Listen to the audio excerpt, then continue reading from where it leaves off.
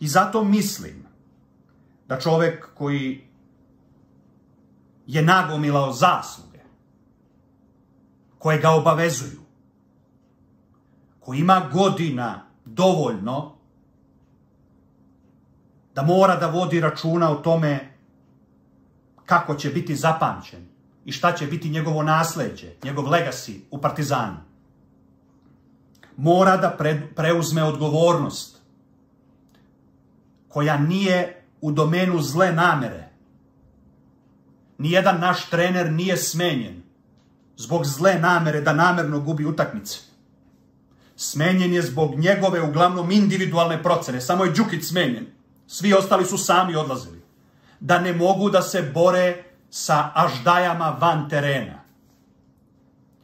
Iako je neko simbol onoga dela partizana koji je zadužen da ono van terena reguliše.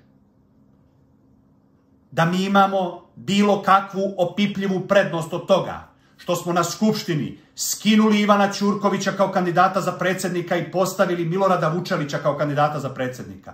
Zbog njegove bliskosti, prijateljstva s Aleksandrom Vučićem, zbog verovanja da će zbog te veze nama kao klubu šteta biti manja, disparitet u odnosu između Zvezde i Partizana manji, život lakši, da ćemo dovođenjem čoveka sa jednom proruskom provinijencijom mi od ruskih sponzora dobiti možda jedan dinar, rublju, kopejku, makar.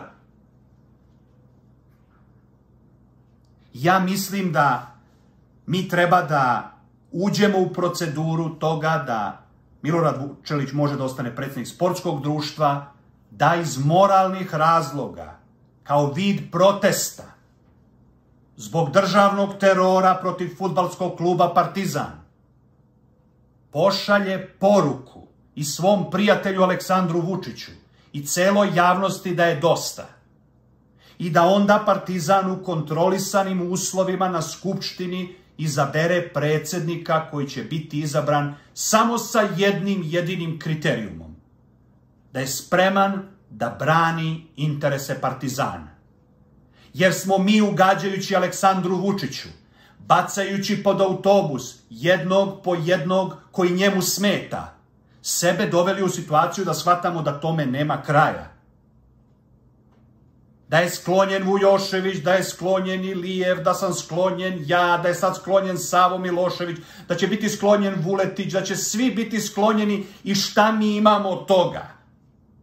Jel imamo išta od toga?